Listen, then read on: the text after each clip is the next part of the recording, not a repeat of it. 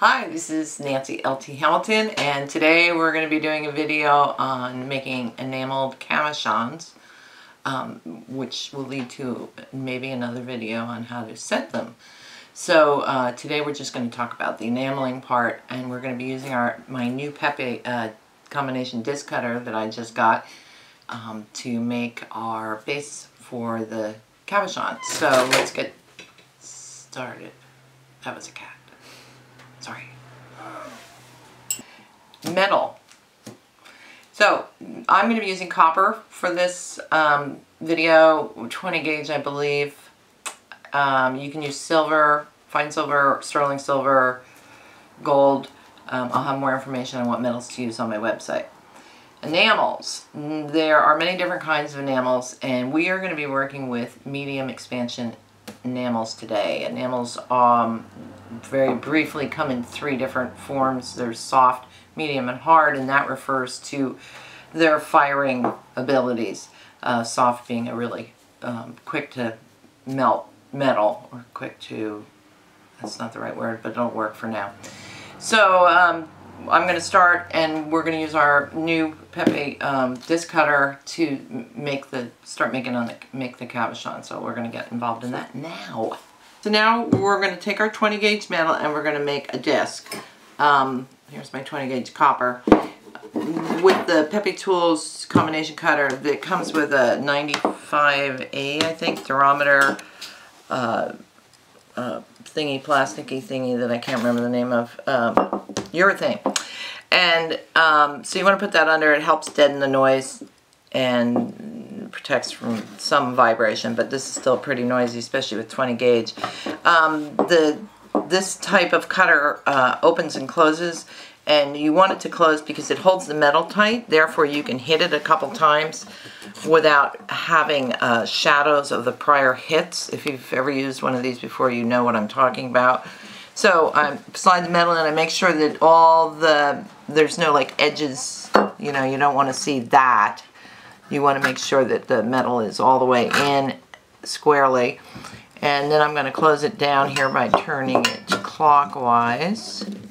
And that holds the metal in so you can't get it out. It's not going to move when I hammer it. We're going to be using the 7 8 punch. So the black end is the part that does not cut. This is the part that you're going to hammer on. And this is the cutting surface which has a lot of uh, uh, lubricant. You always want to use lubricant. It keeps these sharp much longer. So I've got my little uh, Pepe Lube and I'm going to lubricate it like so. So this is a very loud operation um, and if you want to protect your hearing, these suckers, and you want to give it as big a whack, I can't hear you, what'd you say? Uh, you want to give it a really hard whack if you can, use either a, a big leather mallet or a steel shot-filled mallet or a brass mallet, but I like my rod. And you want to hit it straight on. You don't want to come in at an angle like this. So ready, get set, and here we go. So to remove the punch, you just lift up and it slides through and there's our little disc. So now we are ready to go on to forming that disc. And I'm going to get set up. Just a little quick warning. When uh, This is not really a warning. I don't know what this is. WD-40 is not good for your steel tools. It's a corrosive oil, so don't use it on your tools. 3-in-1 oil would be a better choice. And I've mentioned that because sometimes you need to wipe your tools down with oil like the disc cutter or the uh, dapping block that we're going to use. So don't use WD-40. Um, okay, here's our disc, and it has, a, I know you can't feel this, can you? Um, there's a little rough edge here from the cutting. So you can either use, I, I like half rounds because they have both round and flat size. And just, you can go around and take that off with this, with a file. Noisy arm I have today. Clank, clank, clank, clank. And I see I'm rolling it around with my fingers. Um, and then I would go in and I'm going to roll this too. Um, this is 220 sandpaper, I think. Wait, no, I think it's 320. I have no idea what it is. It's rough. Stop! And I'm just kind of dragging the edge along here. to take off that burr that's on here. And that should be good enough. So now we're ready to dome. And I'm going to use the urethane that came with the Jiffy, Jiffy, Pepe disc cutter. And I'm putting the disc in a biggish hole. Um, I'm only going to use one size DAP on this, um, which is smaller than this area, but not real tiny. So I don't, I don't want to come in with something like this. Okay, I want something that more fills the hole. So I'm going to use my trusty mallet again. And give it a couple of whacks. This is 20 gauge, so it's a little harder to dome. And if I had annealed it too, it would have been a lot easier. So that's about all I want to get on the... No, actually I might do a little more. Um, so I'm going to go anneal this and then go to the next hole here with a smaller punch. But I don't want to. I don't want to dome it too much. You can do whatever you want. You can make huge high domes if you want for your cabochons. Um, but for what I'm doing, I'm just going to dome it a little bit more. We already done a video on this, so I'm not going to make you watch it again. So I'm going to go do that. Okay, now we're going on to the fun part. Um, I've got my disc.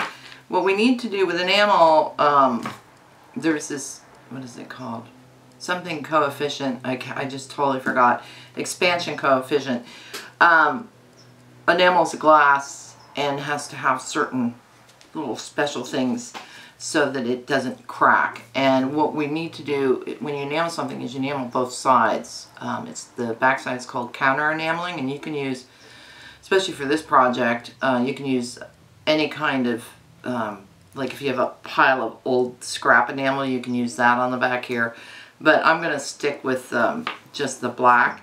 I'm going to put probably two to three coats on the back of this before I even work on the front uh, to help keep the top part from cracking. A um, couple tools that you'll need and supplies. Uh, this is Klyr-Fire and it's a, sub, let me see if I can remember this, ethyl methyl cellulose which is I think basically like plant fiber blah blah blah and uh, water. And so what you do is you mix 50% of this to 50% of water in, I use these little medicine cups because they have um, the milliliters or drams or ounces on it. So I can do, you know, my 50% water, 50% Klyr-Fire. So mix it together. Um, and then you need a trivet to fire on. We're going to be kiln firing. We are not doing torch firing today. So my kiln is on and I've it's always going to be a little slightly different depending on your kiln. I found for me, I set mine at 1450 uh, Fahrenheit and um, for three minutes and it, it's pretty much spot on for perfect melt for me. So you have to play around with your kiln and see you know what your perfect temperature and time are together. Um, adding elements into the kiln, like putting more than one piece or putting in a, a firing uh, screen that's heavy steel. That'll act as a heat sink and it'll take probably a little longer. The thickness of your metal will affect it. The type of metal will affect it. The type of enamel will affect it. So it's a crapshoot. So anyway, we got our trivet. We got our Klyr-Fire. We have our little sifter. This is, I think, 80 grain grit. Um, with with oh this is opaque enamel. It's number 1996 from Thompson. Uh, with opaque enamels you don't have to wash them or separate the meshes. Um, you can just use it as is from here which is very nice for me because I'm the not so lazy jeweler. So this piece has uh, two coats I believe of um, counter enamel and I'm just going to show you how I do it. I'm sure there's 67 other ways. By the way, this this metal and my hands are free of grease. I torch cleaned this, as I like to call it. So I heated it with a torch and then pickled it. So I'm going to just put it in here and I'm going to paint the uh, Klyr-Fire all over the inside and around the edges. Don't worry about the edges too much on this project because the a bezel that we're going to be making um, in the next video maybe will cover those, but right now we're just going to do that. And then you come in and grab your enamel, put on your mask. I hate these things. There goes my hair. Okay, and I grab a scoop of this. And then I, I see I'm doing it on newspaper, by the way. That's so that I can collect the overage and pour it back in. So I'm kind of trying to put an even coat. That's the deal. You don't want it real thin. I don't want to see metal through it. And you don't want it real thick. And I started on the outside first. So that's kind of okay. If I wanted to do these edges, I think I'll show you how to do that. Um, let me get set up for that. So I'll be back in a second. And I'm going to take this mask off. So I have my little world-centric compostable spoon here. And I, what I'm, I just put a little bit of the enamel in. I'm going to soak my brush and run some Klyr-Fire down the sides. And I also have a teeny brush. No, this isn't enough, I don't think. It'll be enough. So this is if you want to um, put some on the edges. It's a wet packing, kind of, sort of. And so you kind of, you want to, the right composition of uh, fire and enamel. And you just go around and paint your edges like this. So if you're really into covering them all, or you know, if you're going to do something else down the road besides make these little cabochons. So basically just do that all the way around. Um, and then what we're going to do is, when we've got it all set and we're happy with the level of, which I'm not, of enamel, enamel, enamel we're going to put it in our trivet and put it on top of the kiln until it dries. The enamel, all the Klyr-Fire is evaporated and then I'm going to pop it in the kiln. So we will show you that in a second. So we don't want to get in there because it's 1450 degrees so we don't really want to put our head or our arm in and I have done this without a glove and it hurts. And I found also found these gigantic tweezers. I don't know if I use them for my brows or my fur on my lip, but definitely good for reaching into the kiln. So I had my um, thingy, my disc up here on top, so I'm gonna, it's still kind of wobbly. Okay, we're gonna put it in the kiln, which is flaming hot in the center. Shut it. I've got my timer preset for three minutes. Set the timer. If you forget to set the timer, you will forget about your enamel, and if you forget about your enamel, it will be toasted. so, set your timer. Okay, we're gonna come back in three minutes. Okay, the alarm is going off. Ah! Grab it out. Now I have already prepared a surface over here for putting it on. These are fire bricks. And I don't know why I put the metal on there. I just did. So what we're going to do the next is we're going to paint it again with the Klyr-Fire. Sift another coat of enamel, black enamel on it maybe two, three times, and fire it um, in between, of course. I'm going to put this in the pickle when it cools down to take all this fire scale off of it. You can see it all over there. So that uh, will clean up the metal, and then we'll be ready to um, do the other side. So we're going to do that in a minute. So uh, we've gotten the um, disc has been enameled. I didn't show you again because it's redundant. I painted the outside of the dome, did three, two layers of black um, on the top side. So what I end up with is this thing that looks like a button that's enameled on both the back and the front. Um, and what I'm going to do now is add some kind of pattern onto the front. I'm using a cobalt blue. And uh, what the heck is this? Sapphire. Sapphire is, I have a number here? 1425 and the cobalt is I think is 1693 so um, I and it's the same mixing technique the only difference with doing the this part is since I'm using two different colored enamels I'll need to rinse my brush off between applications so I have a little thing with water in it um, and two spoons instead of one Whew. so I'm gonna mix it up Actually, I wanted to start with the other color. Oh, a little piece of paper towel to wipe your brush off. So, um, the powder that we're using here is actually ground glass um, that comes in all different grit sizes, so to speak. And um, it also, this liquid that we're using is an adhesive because if I tried to just put this liquid powdered glass on top of this little button we've made, it would just roll right off. So that's what the Klyr-Fire is. This is a glue. So you can just, you know, you can have a plan pattern here. Um, another thing that you can do is make a stencil and sift the enamel. You'd have to coat your whole piece with the Klyr-Fire first. Um, and then you would put your stencil on top and sift. It's a little hard to do with a round piece, but I have no idea what I'm doing here as far as pattern. I'm just making stuff. But that's the fun part about this is that you get to do whatever the whim inspires you to do. So I'm going to use two colors here. Um, I could put the other color on top of this, but I'm going to fire this first and then add the other color.